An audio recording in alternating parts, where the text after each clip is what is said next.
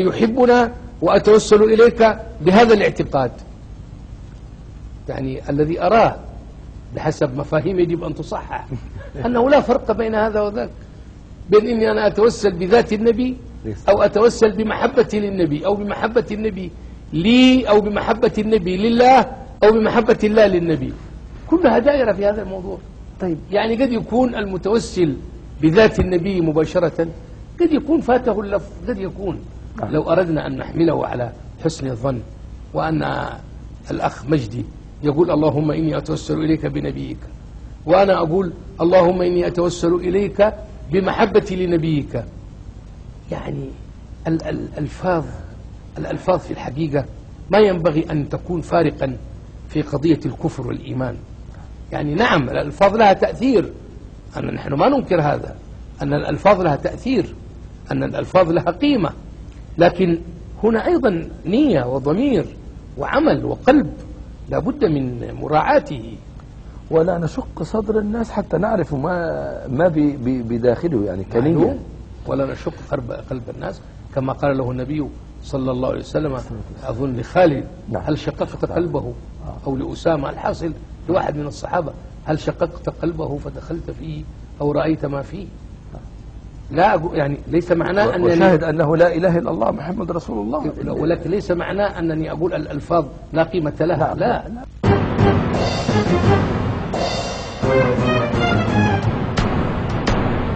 كيف توسل سيدنا عمر رضي الله عنه وأرضاه بالعباس رضي الله عنه عم النبي صلى الله عليه وسلم؟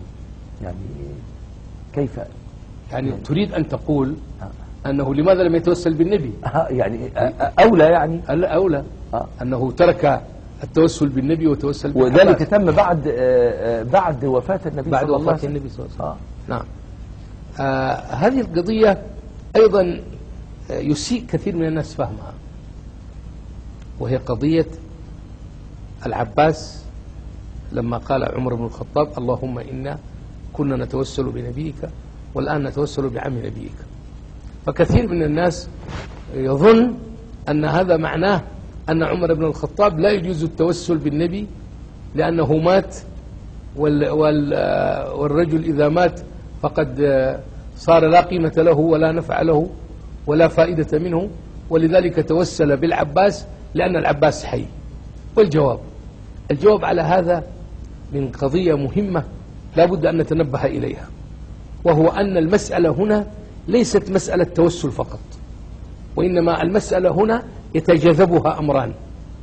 الأمر الأول توسل وهذا على جريان اللفظ في قوله اللهم إنا نتوسل. والقضية الثانية وهي المهمة أن هنا المسألة مسألة تكليف بعمل دنيوي, دنيوي لا بد فيه من وجود من يقوم به وهي قضية الاستسقاء. فالمسألة هنا في الاستسقاء آه. النبي صلى الله عليه وسلم كان يصلي بهم كان يخطب لهم الآن انتقل إلى الرفيق الأعلى فالوظيفة هذه انتقلت إلى من يقوم بها في الدنيا وهو الاستسقاء بمعنى الخطبة والدعاء نعم. والتوجه إلى الله بالسؤال نعم. هذه كلها وظائف دنيوية تحتاج إلى واحد موجود على وجه الأرض يقوم بها فهنا عندما قال اللهم إنا كنا نتوسل أنا أفهم بحسب قانون مفاهيم يجب أن تصحح. أن هنا كنا نتوسل. المراد به يعني كنا نستسقي. لأن نبيك كان موجودا على وجه الأرض يعيش في دائرة الحياة الدنيا. أما الآن فقد انتقل إلى البرزخ. وهذه الوظيفة ما يقوم بها أهل البرزخ وإنما يقوم بها أهل الدنيا. القضاء الإمامة الخطابة الاستسقاء كل هذه مسائل ما يقوم بها إلا أهل الدنيا. أما أهل البرزخ ما يقومون بذلك.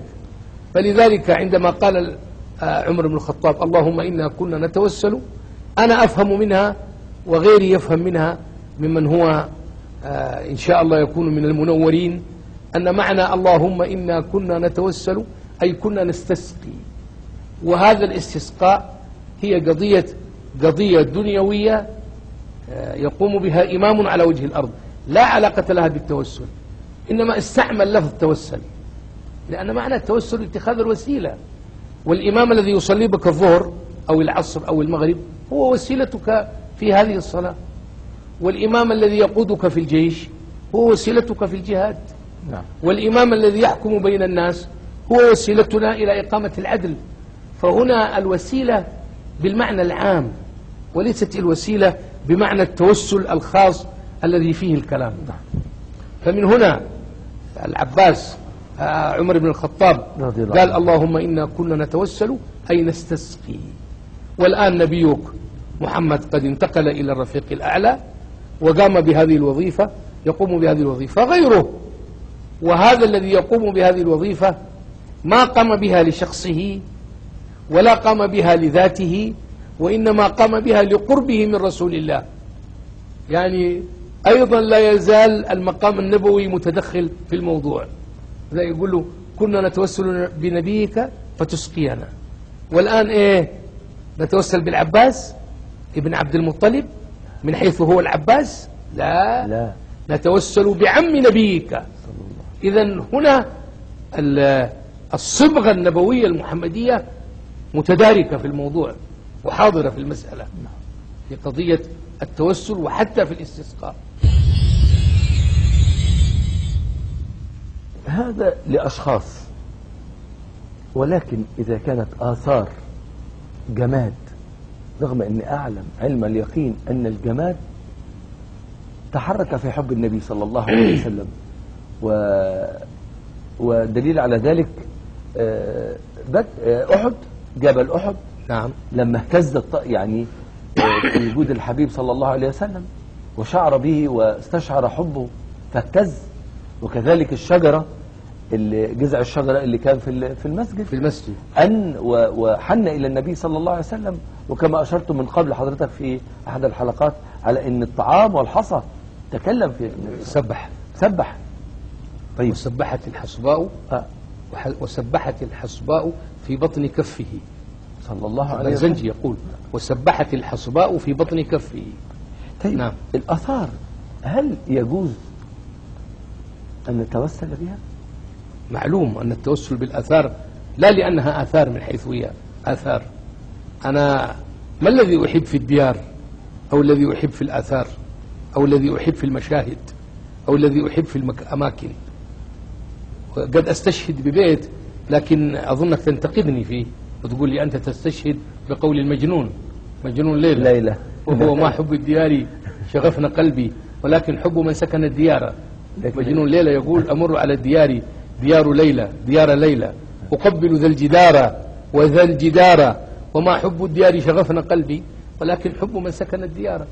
هذا كلام المجنون. نعم هو المجنون على ليلى. نعم. وأنت مجنون في حب رسول الله. صلى الله عليه صلى الله عليه وسلم. وسلم. ولا مانع. نعم. مانع. وكلام و...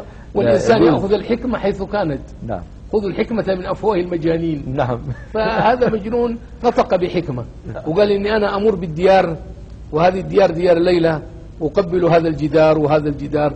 لا محبة في الديار من حيث هي ديار ولكن محبة في من سكن تلك الديار. والذي سكنها هو المصطفى صلى الله عليه وسلم. عليه والثاني يقول خليلي هذا ربع عزة فاعقلا قل- قلوصيكما ثم انزل حيث حلتي. ولا تيأسا أن يغفر الله لا- ذنبكم أو كذا أو كما قال إذا أنتما صليتما حيث صلتي فأنا لماذا أنظر إلى الآثار؟ ولماذا أنظر إلى الديار؟ جدار لا قيمة لها. لكن أنا أنظر إلى من ارتبط بتلك الديار وبتلك الآثار وملاحظة الارتباط بين الديار والآثار وبين من حلها وبين من سكنها من الأمور الإسلامية المعتبرة.